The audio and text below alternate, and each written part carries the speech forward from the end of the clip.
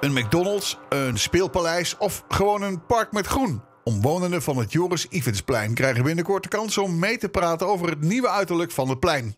Maar wat zou dat dan volgens hen moeten worden? Ik wil uh, veel meer groen zien, want als je daar kijkt, het Kronenbergpark, dan is het een mooi compromis. Als je daar dan meer groen erop zet.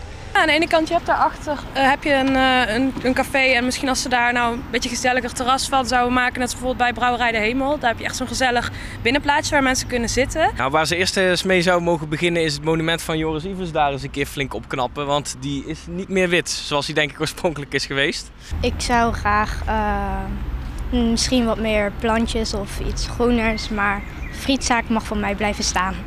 Ik denk aangezien onze school zeg maar hier is dat we iets van uh, een leuke plek om te eten of zo. Want dan kan je in pauzes gewoon met vriendinnen of zo daar naartoe gaan. En aan de andere kant meer groen kan natuurlijk ook nooit kwaad. En wat denk ik ook misschien goed is, is om het plein hier zo te verlagen. Want het, het ligt zo op, op zo'n verhoging. En dat is op de een of andere manier niet uitnodigend en ook niet handig voor markten of leuke evenementen.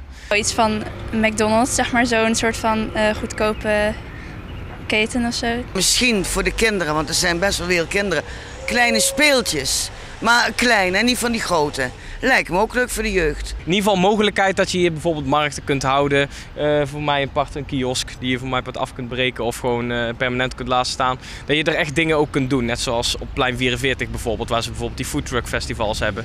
Dat is hier veel moeilijker. Ja.